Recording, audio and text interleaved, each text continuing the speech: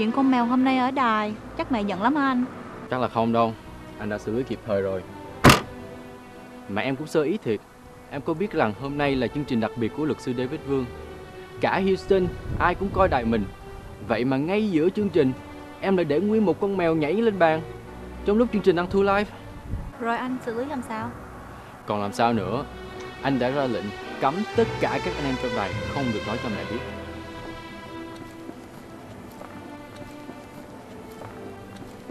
Ông xã đáng yêu ghê. Thì anh lúc nào cũng đáng yêu mà.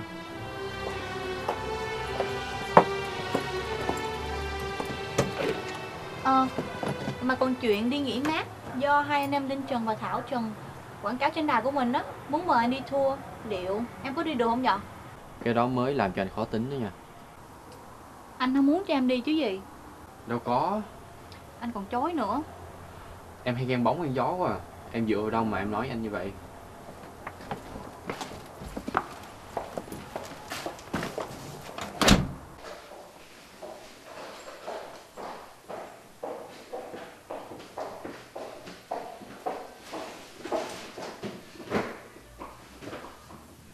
À, còn chuyện anh nhờ chị Xuân Mai mua bộ mỹ phẩm The History of the Who ở tiệm N&N đâu rồi?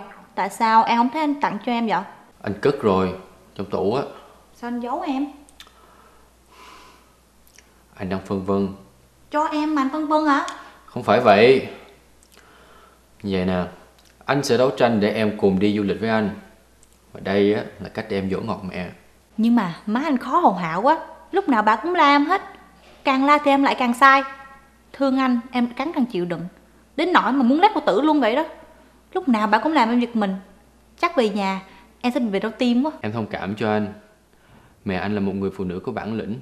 Một tay mẹ vừa nuôi anh ăn học Vừa xây dựng cả cơ ngơi này. Cho nên mẹ hơi cầu toàn. Mẹ khó Nhưng mẹ chỉ muốn tốt cho em thôi. Làm dâu của một người mẹ bản lãnh như vậy Làm vợ của một ông chồng con một như anh Còn khó hơn á là đội đá vá trời nữa. Cho nên món quà đó Anh sẽ để dành tặng cho mẹ. Không được. Bộ mỹ phẩm đó em thích lắm. Anh tính rồi. Anh sẽ cho mẹ bộ mỹ phẩm đó. Và anh sẽ nói là đó là quà của em. Thôi Hay là vậy. Để em mua cho mẹ một bộ khác Còn bộ đó em lấy mà xài. Thông minh. Vậy mình đi liền đi. Đi ăn hả anh? Em cũng thấy đói bụng rồi nè? Ít có dịp nào mà hai đứa mình đi ăn riêng với nhau Mà không có mẹ hết. Bộ em muốn cho mẹ la hả? Đi mua cho mẹ một bộ mỹ phẩm khác đi Để cho mẹ được vui. Đi ngay bây giờ hả anh? Chứ đợi lúc nào nữa Đi nhanh đó nha. Ok thì thôi em đi. Mẹ mình á Thì lại khắc khe với nàng dâu. Còn vợ mình Thì lại không khéo léo với mẹ. Đứng giữa hai người Thật là khó xử. Hy vọng rằng mẹ cho cô ấy đi với mình. 5 ngày ở Cali Thật là dễ thở. Cằn nhằn gì đó Mà con cằn nhằn vợ con cũng phải thôi. Không thể tin được. Mẹ mới vắng đài có một ngày đã xảy ra chuyện rồi. Ủa chuyện gì vậy mẹ? Lúc mẹ đi vắng mọi chuyện trong đài con vẫn làm tốt mà mẹ. Vậy còn chuyện con mèo thì sao? Một chương trình đang thu like Mà con để nguyên con mèo nhảy vào. Con làm như vậy có đúng không? Con còn giấu mẹ nữa hả? Bộ mẹ biết hết mọi chuyện rồi à. Thì mẹ cũng phải thông cảm cho vợ con Chuyện là vậy nè. Giữa thời tiết giá lạnh của Houston như mấy ngày nay Vợ con đang đi làm Thấy một con mèo đi lang thang ở parking lot. Thương tình cho nó Vợ con mới đem lên đài để cho nó sưởi ấm. Nào ngờ Xảy ra chuyện như vậy. Rồi ai đăng thông báo tìm thân chủ cho mèo? Đó là ý kiến của ai? Thì uh, Của con.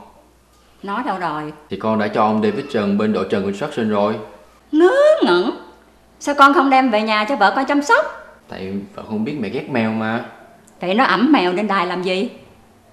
Thì à, vợ ông thấy con mèo nó bơ vơ, lang thang, lạc loài tội nghiệp quá. Nên vợ con mới đem con mèo lên đài để sưởi ấm cho nó. Nó thấy tội nghiệp hay là nó muốn chọc tức mẹ? Đâu có, mẹ nghĩ xa vời quá. Vợ con rất thương người và thật tha Ngớ ngẩn Bộ con không nghe người ta nói à? Con gái nó có là không Nó không là có à? Nhưng mà mẹ ơi, vợ con không phải là con gái. Vậy vợ con là cái gì? Thì vợ con là... Vợ vợ con là là phụ nữ. Con còn cãi lý với mẹ nữa. Con gái phụ nữ đều giống nhau cả. Nhưng mà mẹ ơi, phụ nữ cũng có người này người khác mà. Nhưng mà con cam đoan với mẹ á, là vợ con rất là kính trọng mẹ. Nói tới vợ là Binh chầm chập à Nói đâu rồi Dạ, trên đường đi làm về, đi ngang qua một cửa hàng lớn, vợ con rồi xuống. Thế là con về trước.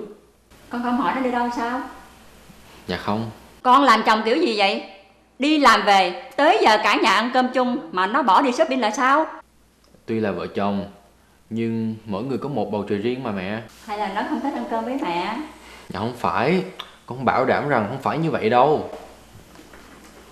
Thư mời đó Có một buổi giao lưu với các đài truyền hình lớn Để học hỏi và trao đổi kinh nghiệm tại Cali Hay là nhân dịp này mẹ con ta Hay quá, vậy là con với vợ con cùng đi nghỉ mát luôn. Lâu lắm rồi hai vợ chồng con chưa đi nghỉ mát. Giờ con mà biết, chắc vui lắm nha mẹ. Cái gì? Con nghĩ đây là dịp để đi chơi à?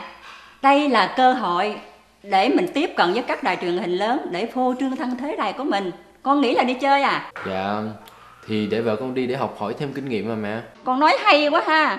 Thành phần đi là những sướng công viên giỏi, nhiều kinh nghiệm, điềm tĩnh và giỏi lý luận.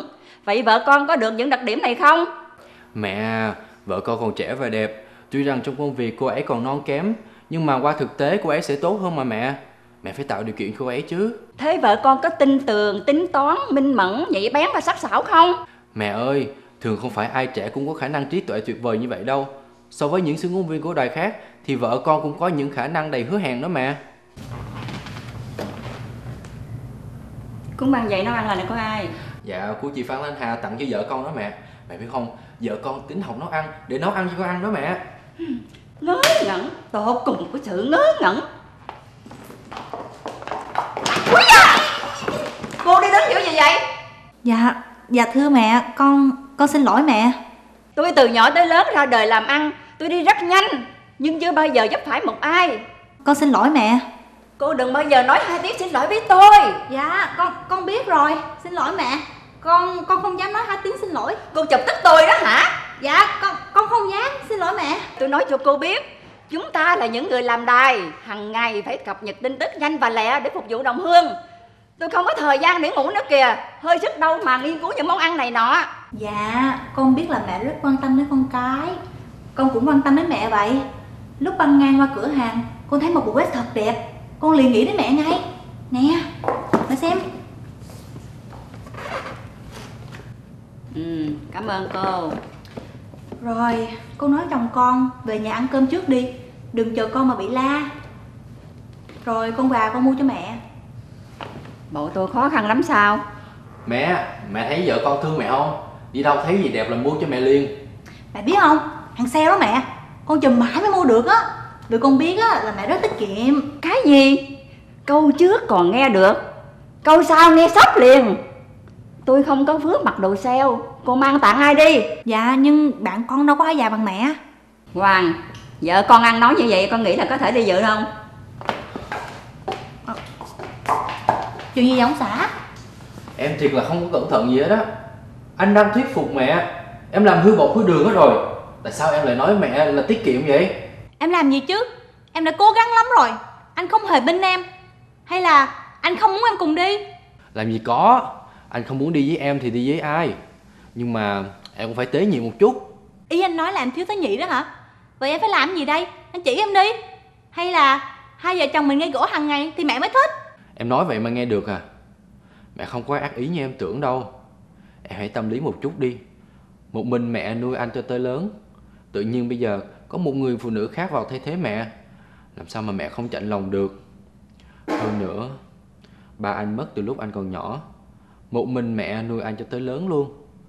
Sau này á, mà em nuôi con như vậy á, thì em mới hiểu được mẹ. Anh này nó nghe ghê quá à. Ừ nhỉ, tự nhiên trù cho mình chết. Cho nên á, mình phải tế nhị, em biết không? Em sẽ cố gắng. Nhưng trước mặt của mẹ, mình cũng đừng nên có âu yếm nhiều quá. Mẹ em đã từng dặn em khi em lên xe hoa về nhà anh. Để gia đình mình được hạnh phúc, em phải chiều mẹ, biết không? Anh biết mà, em sẽ cố gắng.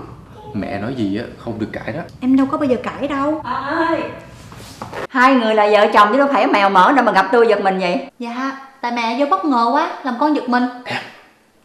Dạ có gì không mẹ? Mẹ suy nghĩ rồi, mẹ sẽ cho vợ con và con đi chuyến này. Mẹ thật tuyệt vời Nhưng Sao mẹ? Con qua phòng mẹ, mẹ có chuyện quan trọng bàn với con. Dạ. Trời ơi Sao lúc nào cũng căng thẳng vậy? Nhất định là nó xấu mình với chồng mình rồi. Mình nghe mẹ mình kể Đời bà mình làm dâu nửa đời người. Nước mắt chăn cơm Quanh năm lâm lũ ruộng vườn bếp nút Đời mẹ mình thì sướng hơn một chút không cần phải làm ruộng, Mà chỉ còn quanh quẩn trong bếp. Nhưng vẫn mất một phần ba đời hầu hạ mẹ chồng. Mẹ nói đời mình thì sướng nhất. Cơm nước có người hầu, Chỉ cần lo công việc. Nhưng mẹ của tôi ơi, Đời nào cũng khổ. Không có cái khổ nào trong cái khổ nào. Ước gì mình được giống như bà Eva.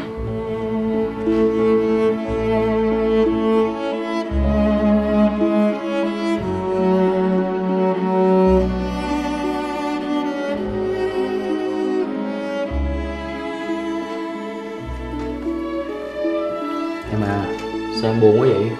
Anh à Anh biết người đàn bà nào trên đời này Hạnh phúc nhất thế gian không? Hạnh phúc đến nỗi mà ai cũng bắt tham hết á. Không biết. Thì bà Eva đó Anh biết tại sao không? Sao? Tại vì bà không có mẹ chồng. Em này Ăn nói cẩn thận một chút. Mẹ anh nói gì à Mẹ nói là em sẽ không làm sứ ngôn viên nữa. Cái gì? Anh, anh định đưa em đi đâu Anh cố ý gì mà đưa em đi xa hả? Em sẽ qua làm việc với mẹ anh. Hả? Ở nhà mới chịu hết nổi rồi. Bây giờ anh còn bắt em đối diện với mẹ anh ở đài nữa hả? Khổ thân em quá đi. Mẹ muốn em có danh phận trong chuyến đi này. Thư ký giám đốc của một đài truyền hình Sẽ được người ta tôn trọng hơn là một sứ ngôn viên. Em có hiểu không? Vậy là sáng mai em sẽ chuyển sang phòng với mẹ. Không phải sáng mai, mà cô phải thực tập ngay bây giờ. Trời nhưng mẹ ơi con rất mệt Ngày xưa khi bằng tuổi của cô, cha thằng Hoàng chết vì bệnh. Tôi một mình nuôi dạy con, vừa lo sự nghiệp to tát này, tôi chưa hề than mệt. Tiếng mệt rất sang trọng đối với tôi. Sau này, sự nghiệp của thằng Hoàng tôi phải giao cho nó, thì vợ của nó phải có một nỗ lực đáng nể hơn tôi. Bởi vậy tôi phải huấn luyện cô ngay bây giờ, thì tôi mới dám tin mà giao chứ. Dạ con biết Hoàng, con tránh mặt đi. Cẩn thận nha em Cô đã học qua lớp tóc ký chưa? Dạ biết Lúc ở đại học con có học qua Tốt. Ngày mai tôi có hai cuộc họp. Buổi sáng khi nào ông Linh Trần tới á, thì nói gặp tôi lúc 2 giờ, không sai một giây. Dạ con đã ghi vào sổ tay Tôi cần hai bức thư, một gửi cho ông Linh Trần và Thảo Trần chuyên về làm đá hoa cương để làm một cái talk show mới. Một cho ông David Trần Construction để làm tái ký hợp đồng quảng cáo. Nhớ gạch tên từng đối tác. Dạ con đã làm xong. Còn một điều nữa tôi cần nhắc nhở với cô. Công việc ngày nào phải làm xong ngày đó Không được dây dưa qua ngày hôm sau Vì đó là một cái thói quen không hay. Dạ con biết. Con sẽ cố gắng làm xong mỗi ngày. Dạ thưa mẹ cà phê nè. Mẹ ký xong chưa? Xong rồi. Dạ mai con sẽ đem cho chị thư ký. Không Mẹ muốn đích thân con mang gửi ngay bây giờ Theo địa chỉ mẹ ghi. Mẹ cho 30 phút. Dạ thưa mẹ Nhưng đây là bổn phận của Không được cãi Có đi không? Dạ đi Con đi.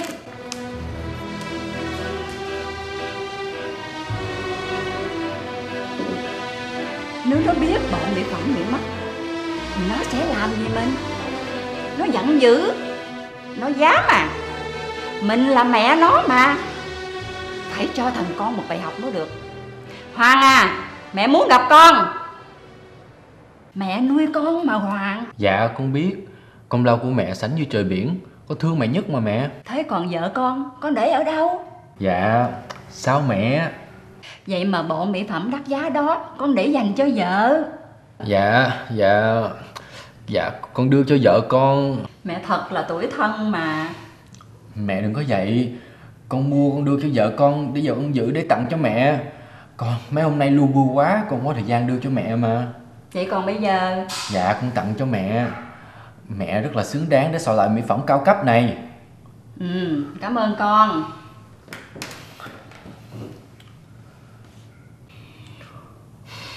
Thôi chết rồi. Để sao mà để mẹ phát hiện vậy trời? Biết nói sao với vợ đây Biết vậy đừng có mua là xong Con tiếc à? Dạ đâu có mẹ Con cho mẹ tới cái gì còn được Xá gì bộ mỹ phẩm này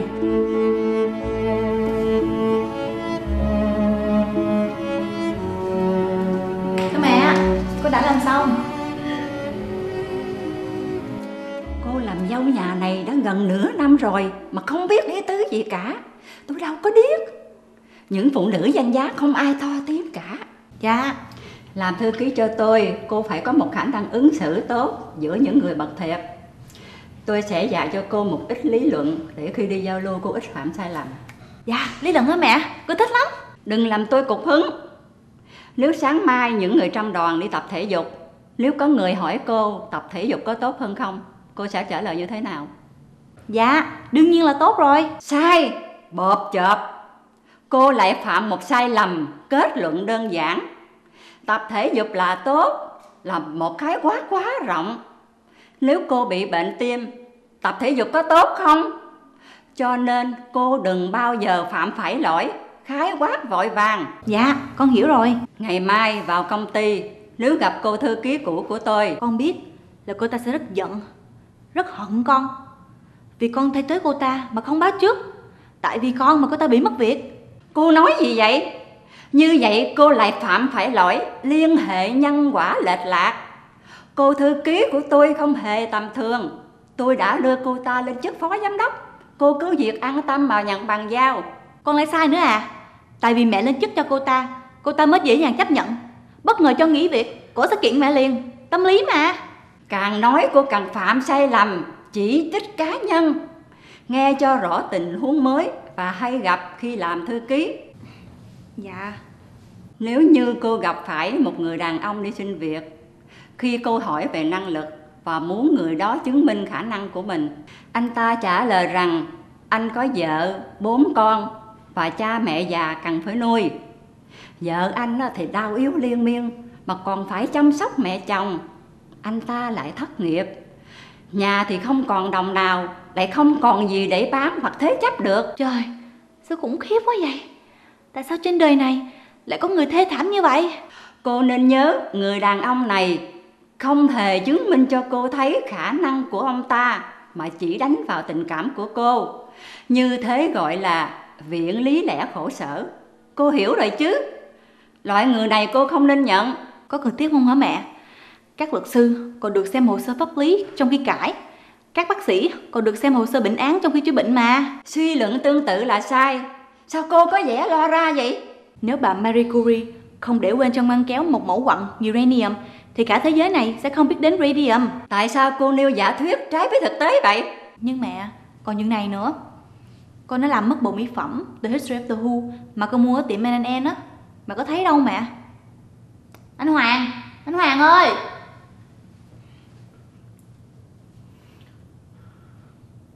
Ủa mẹ Sao vợ cũng nhìn khổ sở vậy mà Tôi sướng chắc.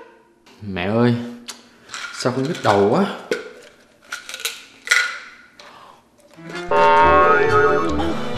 Vợ con tính nào tật đó, không biết kiềm chế cảm xúc, lúc nào cũng la toán lên như một kẻ vô học. Chỉ trích cá nhân. Con mất bộ mỹ phẩm thì con phải hỏi chồng con chứ. Hỗn lắm. Mẹ đừng có khai quát vội vàng như vậy. Con không được quyền ghen sao?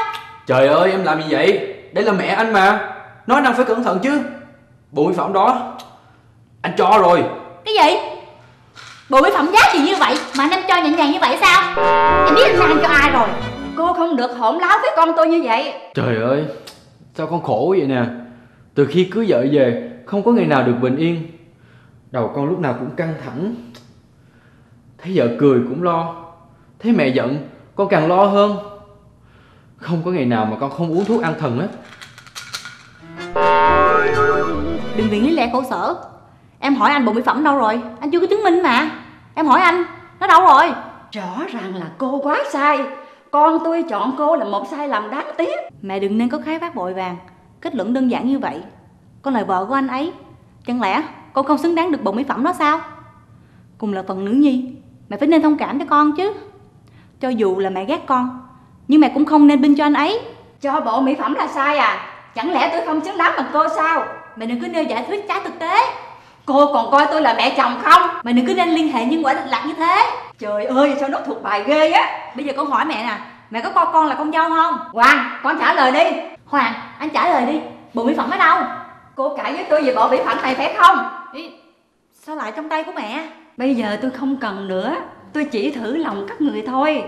Tôi có dư tiền để mua một bộ khác mà xài. Nhưng tôi chỉ thích đồ cho con trai tôi mua tặng Nếu các người không thích tôi trả lại đây. Có chi mà gây gỗ? Thôi chết rồi.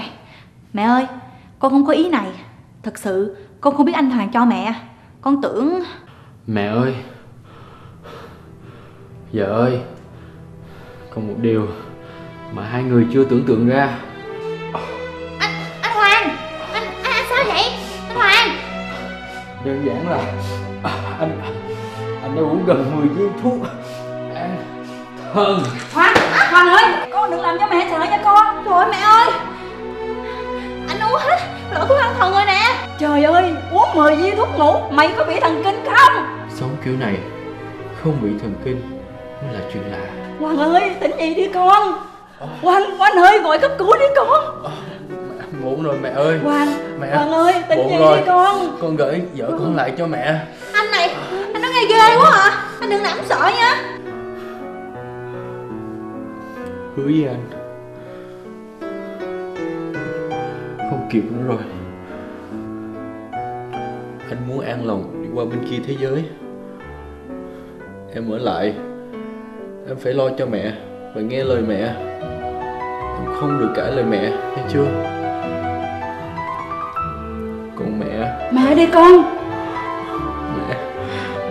Mẹ hãy nới rộng con tim ra Vĩnh biệt Anh Hoàng ơi Hoàng tỉnh dậy Anh con Hoàng Hoàng gọi cấp cứu. Máu gọi cấp cứu đi con. Số số mấy vậy mẹ? Một một một chín. Một chín hả? Ờ ờ chín một một. Rồi xe cứu thương. Chín một một. Ờ cứu thương Hoàng ơi. Hello? Thôi, nữa.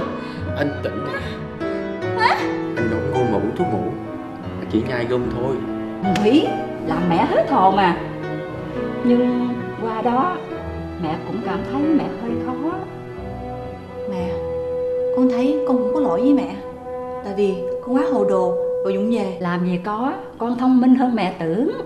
Còn thằng này nữa Ngồi dậy đi chứ. Làm mẹ hết hồn mà. Anh này làm nó quá trời à. Em nè, lâu lâu mới được dịp nhõng nhẽo với mẹ mà. Thằng Ôi da